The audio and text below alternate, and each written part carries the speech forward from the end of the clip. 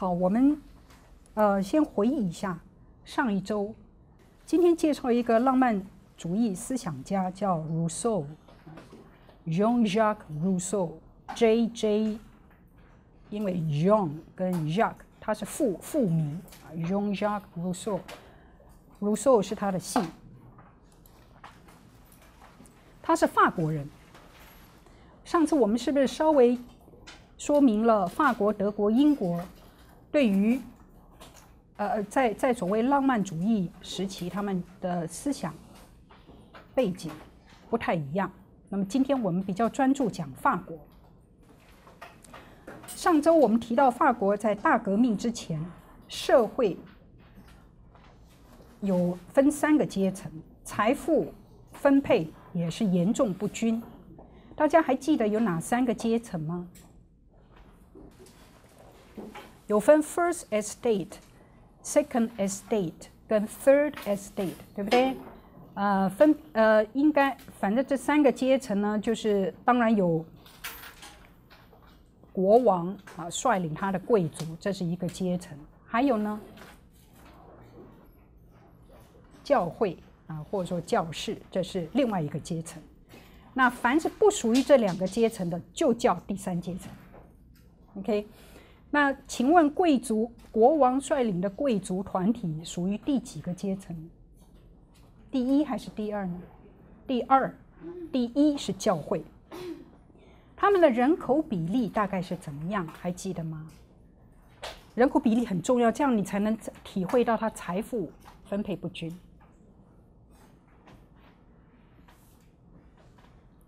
请第一阶级是零点五，嗯嗯，剩下第三阶级是九十八。这你记忆力还不错，你是回去有再开复习是吧？没有看那个，啊，厉害，厉害。OK，所以第三个阶层百分之九十八的人口，那各个阶层拥有的土地比例大概是怎么样呢？我们说前两个阶层就是百分之二的人口了，他拥有多少？大家猜猜看。二十五，三十五。OK，我们看看答案。第一阶层是呃罗马天主教教会的，就是能够进入教会体系的人。那么第二阶层呢？这边写的是大概百分之二的人口，可事实上是要跟上面的加起来是百分之二，然后拥有百分之二十的土地。第三阶层，他们没有什么政治权利，可是呢，去呃收入有一半都要缴，都要当税，所以税收是百分之五十。这个法国的第三阶层是交到就收入一半都要都要缴税。他们是哪些人呢？一种叫 bourgeoisie，是有钱的商人，还有呢，呃，有技术的工人。他们通常收入比较高。呃，请问他们的收入有没有靠土地？刚才讲了，这一群可能只有，可能只占了百分之 六十六十五的那个土地了，所以还是有土地的，只是当然，呃，这些土地就分分给这些人，但是他们的税收太重。City workers，这个呃，通常是要服侍贵族的这一群人，以及 peasants，农农夫。注意，这个字是特别用来指这种社会结构里面的最穷的人。如果你用的字叫 farmer，那个已经是现代的观念啊，不是不是。换句话说，有民主制度之后，那个 farmer 那种字。才比较常用，但一旦你看到这个字 peasant，英文 peasant，这个通常是很可怜的、受剥削的阶级。那这个是我们看上个礼拜看到的啊，在以人口结构来讲，百分之九十八是第三阶层，零点五是第一阶层，一点五是第二阶层。土地的话，六十五是第三阶层啊，教会只有零点五的人口却占了百分之十，所以教会非常非常有钱。我们现在所看到的一些所谓人类文明的遗产或者文化遗产，通常都是很多都是这个时候盖出来，因为太有钱，你钱要怎么花？但是税收却百分之百来自第三阶层。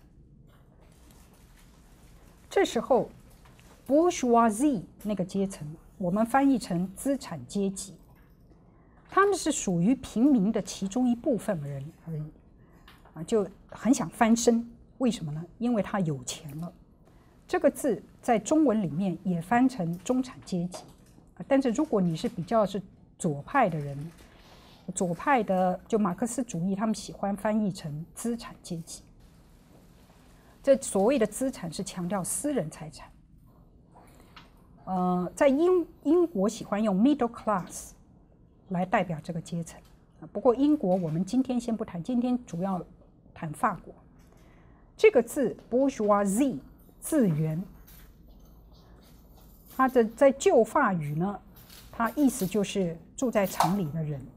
好，那 burg 这个字就是 town 城里人。一五六五年就开始用了，可是一直要到十七世纪、十八世纪才变得比较呃普通。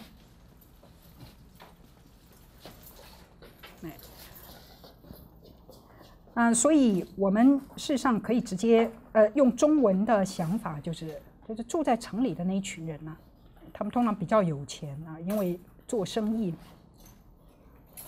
形容词 bourgeois，s 不要发音，名词也念 bourgeois。比如，he is a bourgeois，或者 he has a bourgeois taste。这一群人的特质，那么 bourgeois 加个 i e 就代表中产阶级啊，这个阶层的人，这是一个集合名词。它的特质是重视财富，满口都是钱。主张财产一定要私有，所以税收不可以抽那么重。对工商业特别有兴趣。那当然，十八世纪，呃，还没有真正有那个大型的呃工业，但是商业已经非常发达了。嗯，还有他们非常在意，就是要人家要尊敬他们，他们不希望。被看成只是 commoner，或者说是跟农民啊，或 city workers 那些比较没有钱的人混在一起谈，他们他们他们觉得自己是值得尊敬的，因为他知道如何在短时间之内改善、改变自己的生活。那么我们一谈到资产阶级人的品味，通常会怎么说呢？他们品味高尚吗？如果大家记得上个学期我们看过巴尔扎克的电影，巴尔扎克是不是很怕人家瞧不起他？所以他一旦稍微有名了，他怎么打扮自己？手上拿个权杖，呃，拿拿拿一个，对对，几乎类似权杖的东西。啊，那你可以说啊，那个那个那个是模仿贵族。不过总而言之。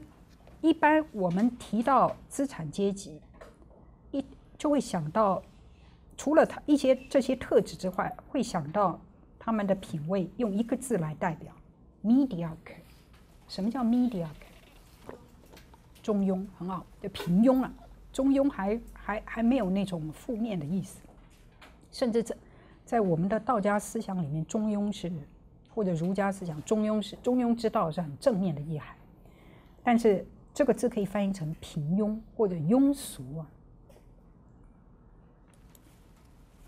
可是这一群人最喜欢讲进步，progress。他们说，从上个世纪开始的启蒙时代，也就是十七世纪开启的启蒙时代。启蒙时代最重要的就是科学，对不对？社会在进步，旧的权力结构应该要改变啦。那么。把我们说成是平民，可是我们有一部分人品味已经提高了。为什么？因为受过科学跟艺术的教育，science 跟 arts。教育提高了品味，就会成为好公民，理应分享权利。请问他们这样的诉求，你同意吗？好像很合理，对不对？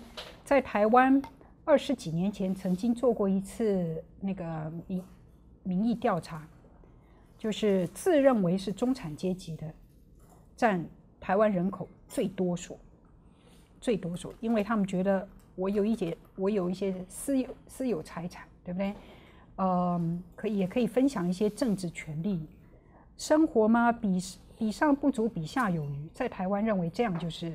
中产阶级，但是在西方的中产阶级通常给人家一想，第一一定是有钱，但是他不是贵族出身，换句话，他的有钱不是因为世袭。再来，呃，这个中产阶级是一个所谓社会进入民主阶段的时候，是是中间分子，因为他们很自律。你要你要懂得怎么赚钱，你时间要分配的得当，你随时要就是资讯要掌握得好，那么呃甚至要让人家看得起，他们的信仰也非常虔诚，认为他的财富累积都是上帝眷顾他给的，所以这种人在民主时代就成为好公民。那果然，他们后来也分享了许多权利，比如说也可以竞选。嗯，立法委员啊，等等的。但是，我们的卢梭，一七一二年、一七七八年，嗯，那个是他，是他活着的年代，他却怎么看这一批人？现代，他说这批人说，我们现在进入现代社会啊。代表是进步，就远离蒙昧时期，因为启蒙嘛，就是呃，表示以前是蒙昧阶段。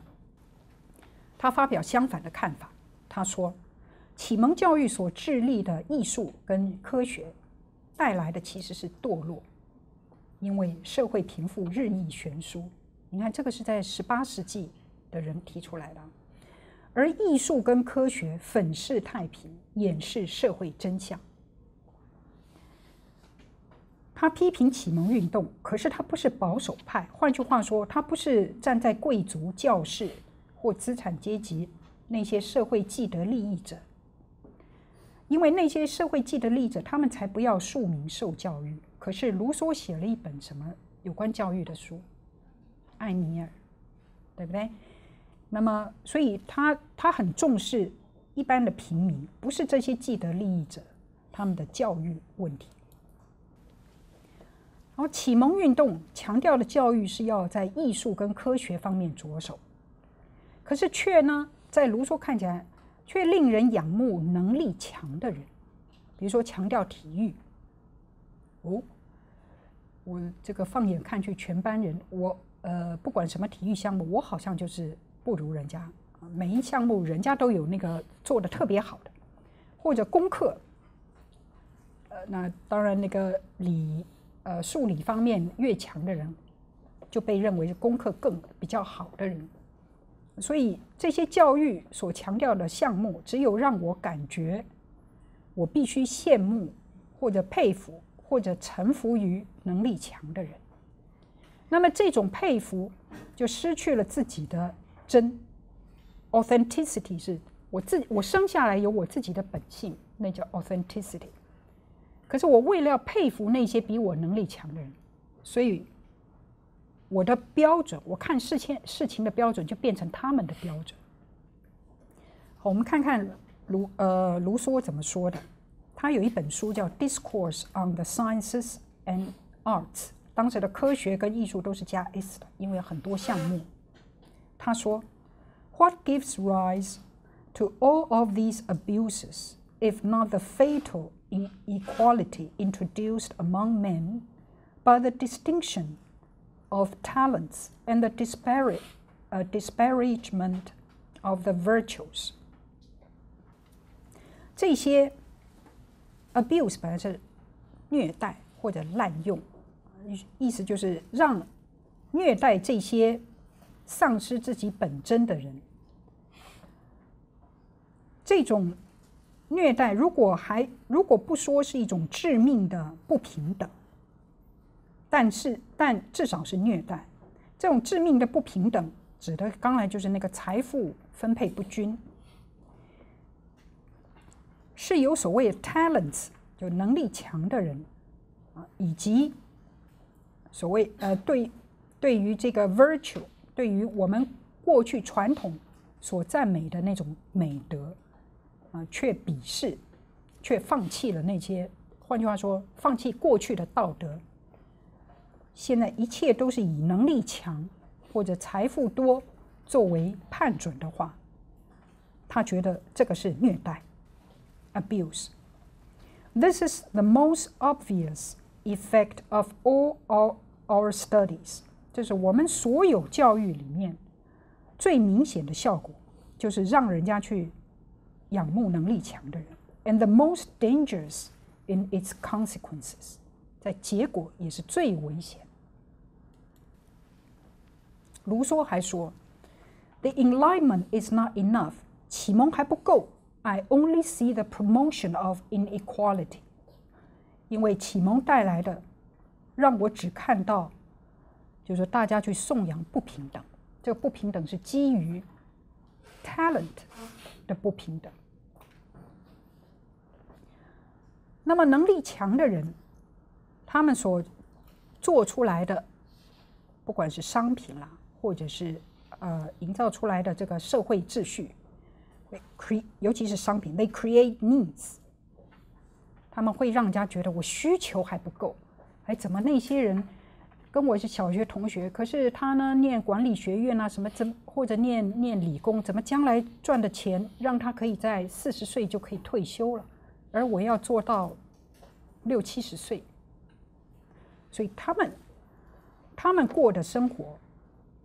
啊，是是是，让我感觉我的需求，我有我需求不够，啊不对，对不起，我的需求太多，比比这个因为这种不平等、财富不平等而产生的。还有这群人呢，they lead to dependence。可是人类社会已经没有办法回头了，卢梭也知道。换句话说。已经没有办法回到古代，凡是以美德来衡量一个人的时代，只好寄望什么？也就那些 talents，那些 talents，其中有专门从事知识的，就是像我这种人啊。呃，在体制内可以从事政治改革，意思就是，比如说让税制尽量公平，让赚多。钱的人要缴多一点的税，然后限限制贵族的特权。他们其中一个特权就是不要缴税。所以呢，卢梭希望，所以这些博学者不要在权力外面做嘲讽，意思就是做那种只会批评，可是不想进入体制内来改革。所以他建他建议要结合权力跟教育。就是我们中文里面习惯说的人治，就有权的人，当你有权利治理人家的时候，你要特别留意那个那个呃 talents 没有 talents 的人，因为他们爬不到社会的上高阶，或者是他们的 talents 不是在目前的教育体制里面所接受的。他怎么说呢？Let learned men 就是那些博学者、有学问的人，of the first rank，也就是人人中之龙啊，那些表现的好的人，find honorable asylum in their courts，在他们的宫廷之中，要寻找一个值得尊敬的避风港。Let them there receive the only reward worthy of them，他们在那个地方。只要只要拿值得，呃呃，值得他们能力的那些钱就好。By the credit，他们既然能力强，收入高，那么 by the credit，他们有这样的呃享受这样的尊荣，they enjoy to contribute to the happiness of the people，他们应该要贡献于这一群人呢、我们 the people 这个词 P 大写，就表示我们刚才讲的那个第三阶层，除去有 bourgeoisie 的那些人，要贡献于他们的幸福，为他们着想。To whom they have taught wisdom，对这些人来讲，那个，嗯、这个这个上位者就是人质的人啊，这些人中之龙应该要教教给智慧。换句话说，价值观不要去迎合资产阶级的那种以财富为主的价值观。这个是卢梭讲的。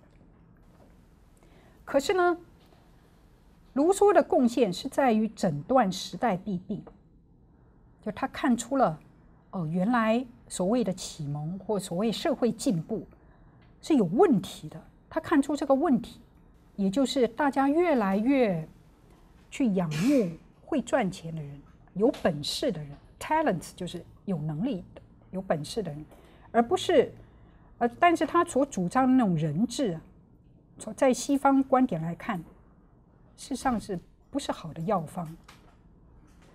人治从来不是解决体制问题的最好方法，因为你要仰赖一这个人在位者的一个良心啊，这几乎是不太可能的事情。可是东方思想不一样，我们东方思想赋予这个呃统治者高高位，赋予高薪，而且好的名誉，就是希望他们可以当父母官。为什么我们把官做官的人讲成是父母官？要像父母爱护子女一样。所以东方思想对对于人治很容易接受，西方没有办法。另外一本著作，呃，卢梭又批评了，他说资产阶级的人外表假装完美，行径却是生活不幸的来源。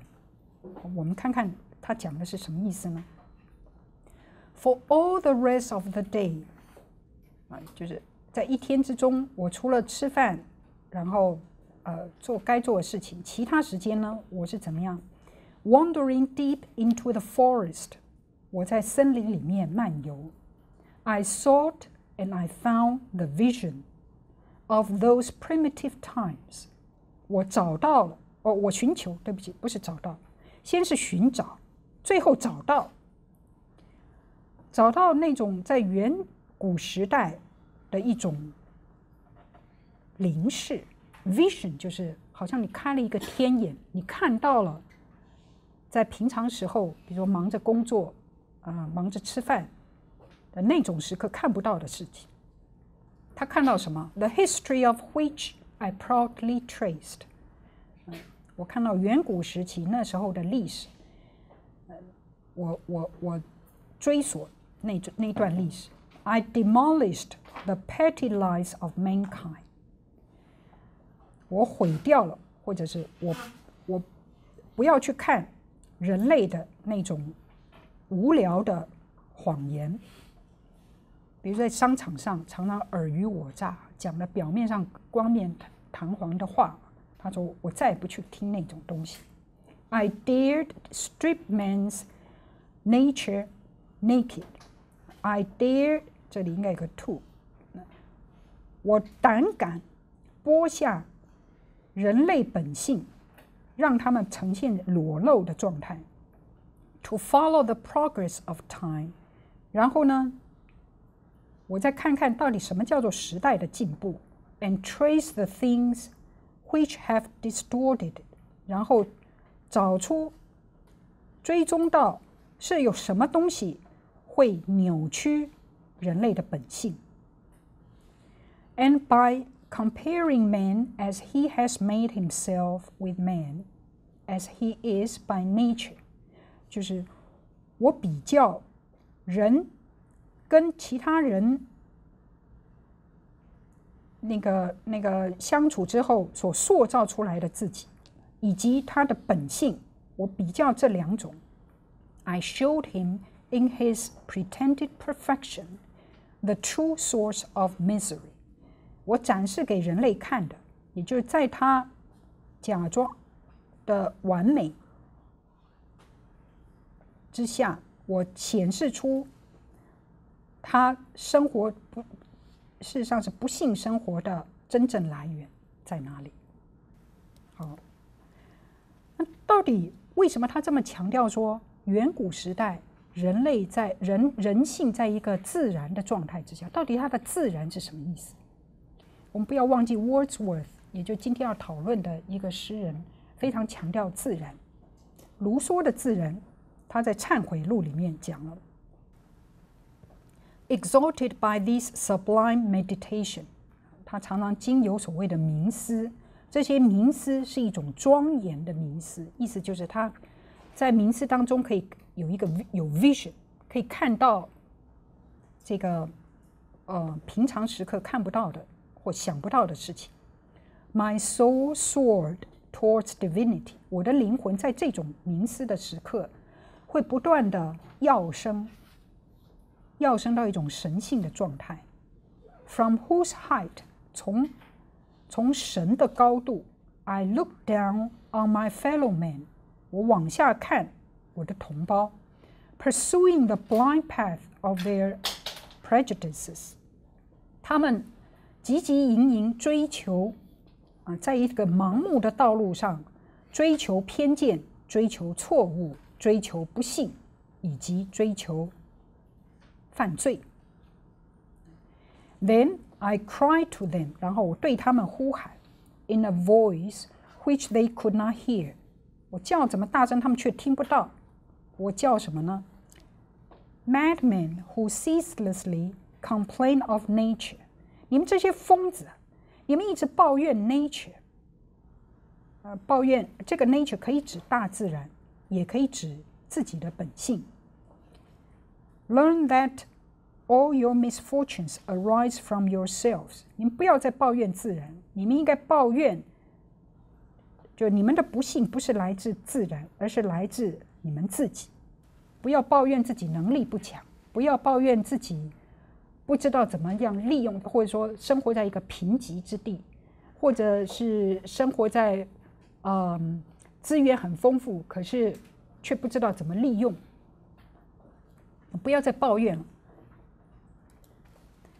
所以他的自然观，他认为那些懂得怎么分析自然的人，其实是虚伪。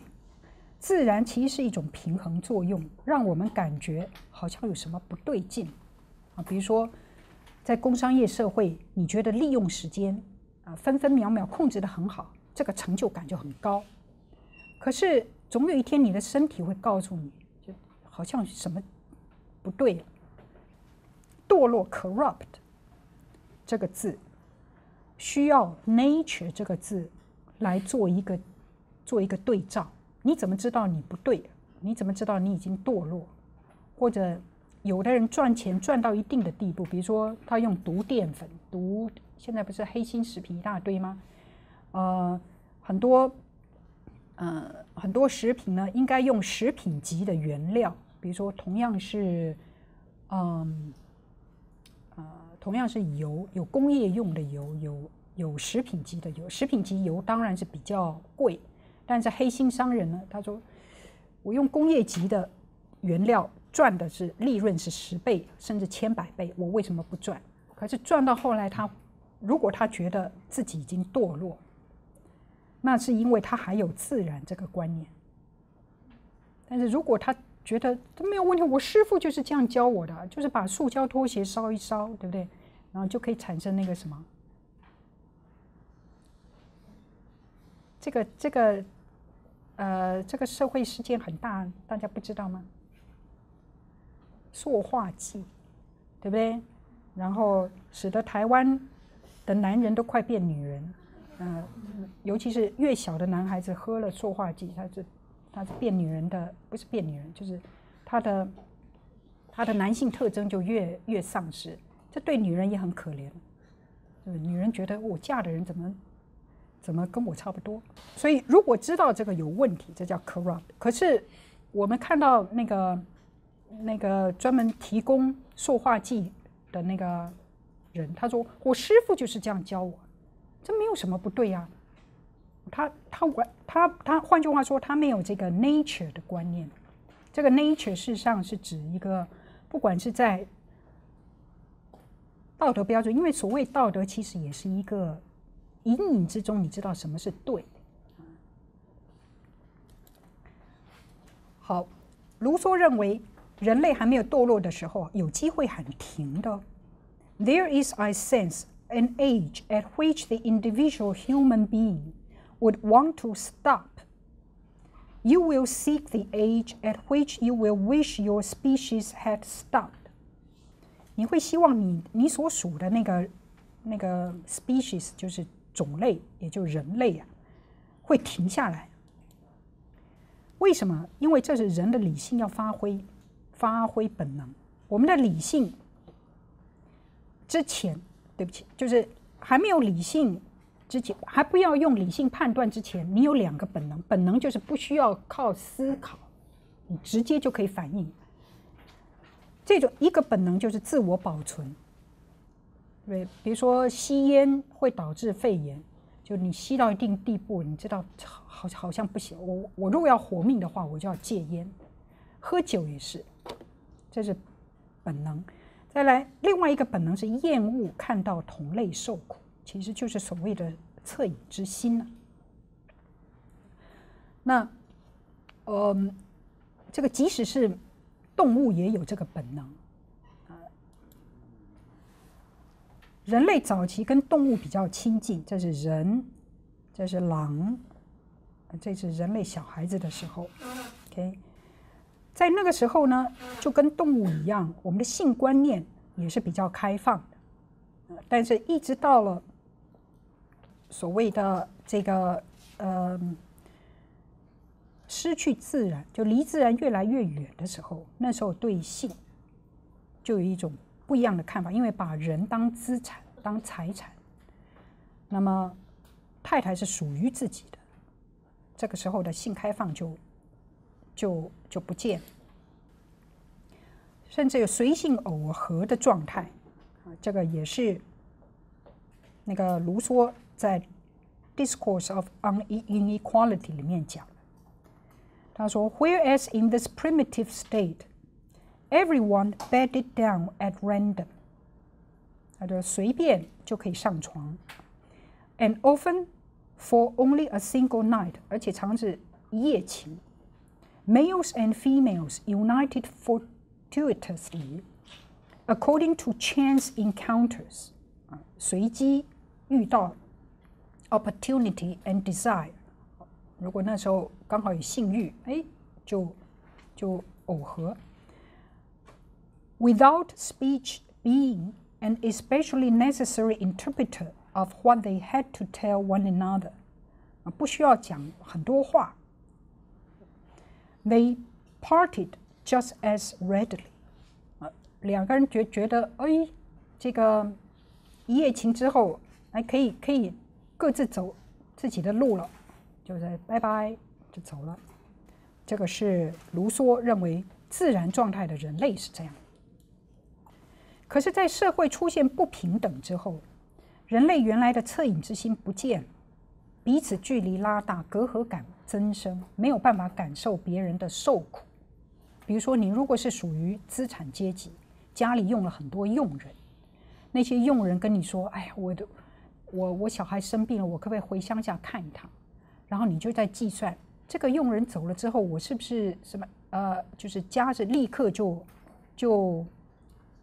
呃，他该做的事情，如果要分摊给别人，呃，那个那个可能人手不够，所以在这种计算之下，你不会去体会他的痛苦。更糟的是，从别人的受苦中还可以得到快乐。那么这一切都是起于起源于就是比较高下。好，这个是卢梭深恶痛绝的。他说，在大自然当中，物种、人种虽然不同，可是不会比较啊。人跟动物不会觉得我比狼。刚才不是有一幅图吗？人跟狼可以相处的。那么在社会当中呢，在所谓 society 当中，建立各种比较的标准，以便认识自己。我们认识自己方法不再是原始时时候跟跟动物在一起的感觉来认识自己，甚至也不再是像呃原始社会看到别人受苦，同类同同种类的人，同一个物种，你看到他受苦，你会难受。你说像马，有时候马在战场上在奔驰，那前面的马被比如说倒下去了，后面的马不会去踩它，后面马一定会想办法绕绕过。可是如果是人的话，马可能就踩过人，就是对同类有一种。啊，这是天生的本能，有一种同情心。那么这幅画也是一样，就进入社会之后，每一个人，不管是座位啊，还有眼神的交汇，嗯，你要很快的看出，在这一群人之中谁最有权利，这些都是所谓进入社会。我们常常讲，哎，你们学校毕业就可以入社会，入社会你要有这个本事。要立刻在一个团体中看出权力位阶。那么要注意这个字，这个字中文翻译成“建制化”，制度的“制”，就是如何你被这个制度所吸进去，被建制化。It will be evident how much smaller the difference between man and man must be in the state of nature. 就人跟人之间的区别，在自然状态是多么少，区别其实很少。比起呢 ，in the state of society，比起在社会的有了社会状态之下，and how much natural inequality in the human species must increase as a result of instituted inequality。人类之间的不平等是因为制度造成，什么样制度？教育制度是一个，比如说你们高中受荼毒，好不容易为的是进交大，是不是？交大 是一个体制内，呃，属于比较排名比较前面的学校，所以，所以在教育体制就有所谓的不平等。不平等的起源是财产权，就是从刚才那一那个画之中看跟被看。它会有一个发酵作用，意思就是，嗯，就好像很多人希望能够竞选有一个头衔，那在这种情况之下，每个人一定都失去纯真，因为每个人都看来看去，哎，看你的穿着，啊，看你的看你的神情，来来感受你的社会地位，所以失去纯真。之后呢，你就必须假装，你怕被人家看清，你要假装自己很厉害，因为甚至要模仿厉害的人，甚至还要表演出厉害的样子。这时候就有虚荣感。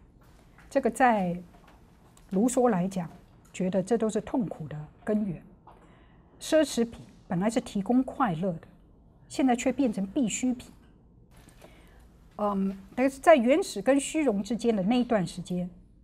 是真正的年轻岁月，这就是你们这个状态你们是在原始跟虚荣之间。可是有的同学会说：“哎呦，我在高中时候已经看到很多同学很虚荣了，那是他提早成熟。”嗯，所以为什么年轻人会特别受到欣赏？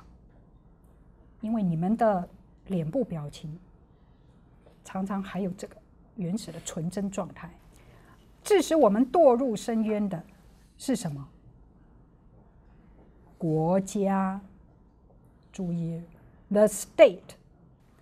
我们通常在社会学讲的 nation state，啊，the state，这个这个 the state 是富人设计出来的，不管是以前的贵族，或者后来法国大革命之后容许资产阶级进入权力体制，他们设计出来 the state 的管理方式。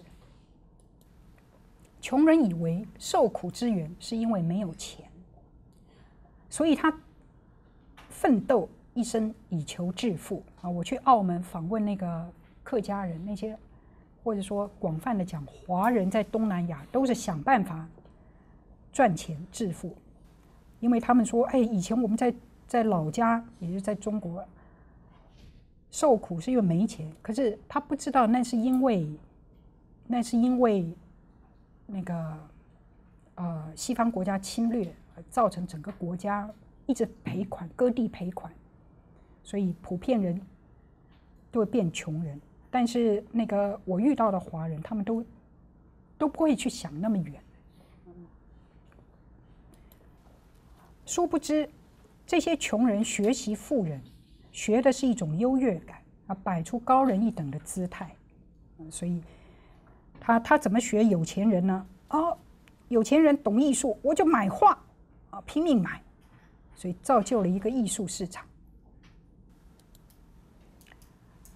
有一个呃，在法国大革命的时候，有一个那个啊领袖型人物叫 Hobespierre，他就实践了卢梭的理念，讲不要只争自由，一定要平等，可是却形成恐怖政治。哎，为什么呢？因为为了得到平等，你可以透过暴力来追求绝对的自由。这个绝对自由目的是要达到大家都一样。可是英国的浪漫派诗人 Wordsworth，他也采取卢梭的自然观，可是他会主张政治，政治上也，呃，也跟法国一样吗？就是在他的诗里面，《坎伯兰老乞丐》里面，他遇那个乞丐所遇到的人，代表的是社会上哪些阶层？他们对他又是什么样的状态？那另外一个诗人《古水手之歌》的诗人 Coleridge，他的自然理念是不是也是卢梭，也是采取卢梭的自然观？